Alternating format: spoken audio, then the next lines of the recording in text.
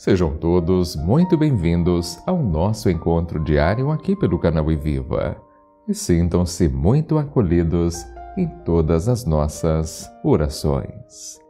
Estamos às portas do Natal e isso é motivo de muita alegria, motivo de expectativa, pois está prestes a chegar o momento em que o Pai nos envia seu Filho, ele que é o sol nascido do alto é Jesus. Só Cristo é o verdadeiro Filho de Deus. Só Ele pode garantir a eternidade do reino prometido por Deus desde os tempos do rei Davi. Acolhemos então com muita alegria, com muita fé, o Senhor, que é fiel, cumpridor de suas promessas. E o Evangelho deste sábado, dia 24 de dezembro de 2022, é o Evangelho de Lucas, o capítulo é 1, versículos do 67 ao 79.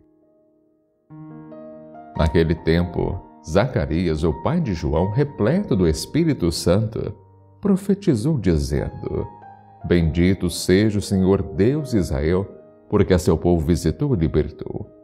Fez aparecer para nós uma força de salvação na casa de seu servo Davi, como tinha prometido desde outrora pela boca de seus santos profetas, para nos salvar dos nossos inimigos e da mão de todos os que nos odeiam ele usou de misericórdia para com nossos pais, recordando-se de sua santa aliança e do juramento que fez ao nosso pai Abraão, para conceder-nos que, sem temor e libertos das mãos dos inimigos, nós os servamos com santidade e justiça em Sua presença todos os nossos dias.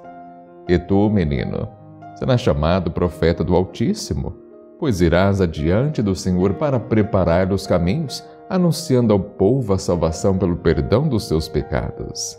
Graças à misericordiosa compaixão do nosso Deus, o sol que nasce do alto nos visitará para iluminar os que jazem nas trevas e nas sombras da morte e dirigir nossos passos no caminho da paz. Palavra da salvação. Glória a vós, Senhor.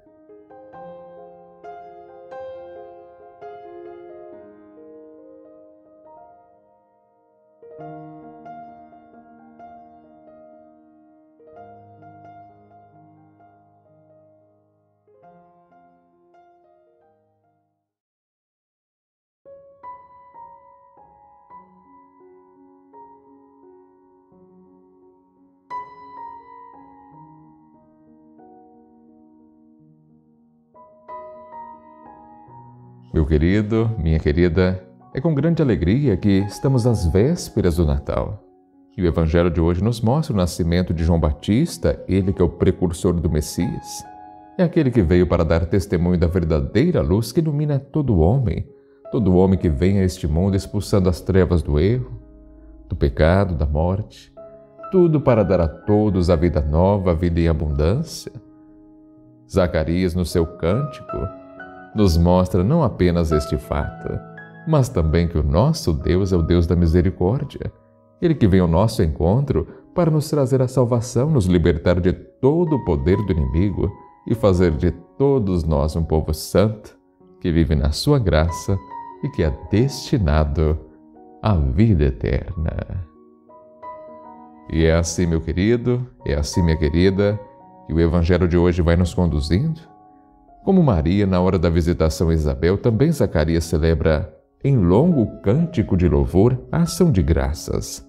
Celebra as maravilhas de Deus, maravilhas que ele contempla realizadas em sua própria casa.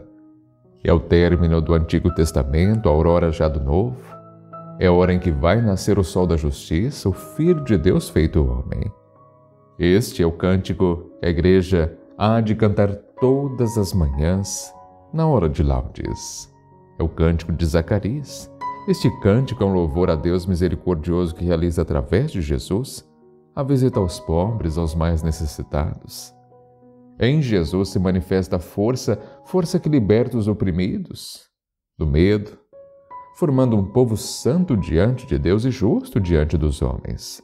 E desse modo, manifesta-se a luz que ilumina a condição do povo, abrindo uma nova história, História que se caminha para a paz, isto é, a plenitude da vida.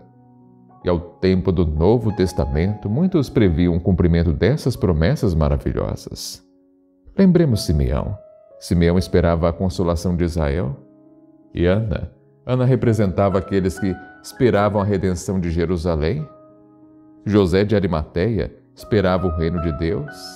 Deus tinha preparado pessoas espirituais para o desenvolvimento de seu plano.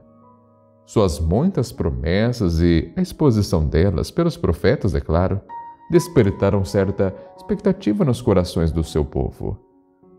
E os primeiros anúncios de que aquelas grandes promessas estavam sendo cumpridas deram alegria aos que ouviram as notícias. Lembremos, o anjo Gabriel disse a Maria: Este será grande e será chamado Filho do Altíssimo. Deus, o Senhor, lhe dará o trono de Davi, seu pai. Ele reinará para sempre sobre a casa de Jacó e o seu reinado não terá fim. E Zacarias, então, ele, inspirado pelo Espírito Santo, falou como Deus estava cumprindo as promessas que havia feito a Davi, a Abraão e, consequentemente, João Batista mais tarde. Jesus e seus discípulos pregaram: o tempo está cumprido o reino de Deus está próximo.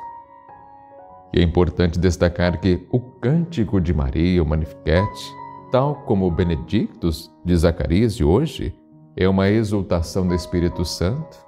Ele exulta de fato de o Espírito Santo os ter feito compreender que as antigas profecias, as antigas promessas de Deus atingiriam a sua realização.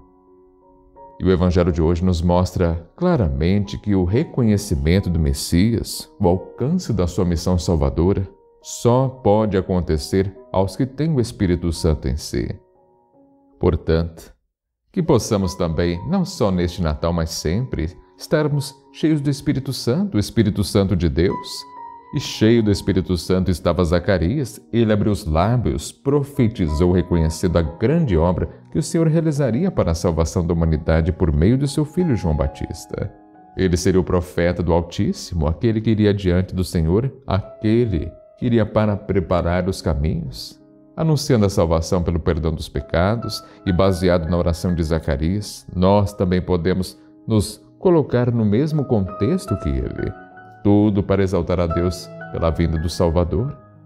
Também nós podemos assumir as promessas de salvação do Senhor para nós, para nossa família, proferindo este louvor em nome de cada membro da nossa casa e nos apostando da força que vem do céu com o fim de nos livrar do mal, da ação dos inimigos. Somos, da mesma forma, chamados a ser profetas anunciadores da chegada do sol nascente, sol que nos visita neste Natal Jesus é o sol que nasce do alto, ele que vem para iluminar os nossos relacionamentos familiares, ele que dirige os nossos passos no caminho da paz. E a Sua palavra é seu mapa que nos direciona, nos motiva a darmos passos firmes para enfrentarmos todas as situações pelas quais passamos. E quando estamos cheios do Espírito Santo, nós também, como Zacarias, somos movidos a louvar o Senhor pelas nossas conquistas. Portanto, venha Espírito Santo, venha preencher os nossos corações com muita paz e com muita alegria. Aguardamos a chegada do menino Jesus. Amém? Hoje, se for possível, coloque logo abaixo nos comentários.